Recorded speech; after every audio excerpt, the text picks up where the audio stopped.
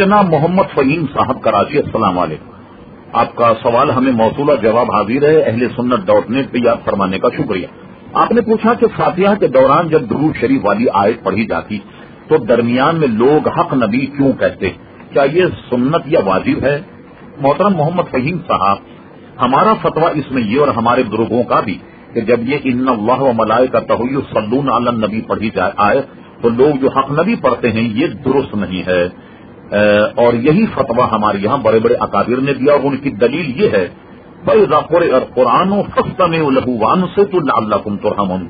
व इज़ाक़ुर अल कुरान, जब कुरान पढ़ा जाए फस्तम लहू, उसे कान लगा करके सुनो, है?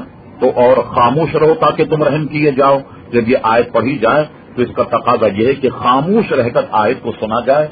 जब आयत खत्म हो जाए तो हजूर सलाम पर दुरू शरीफ पढ़ा जाए।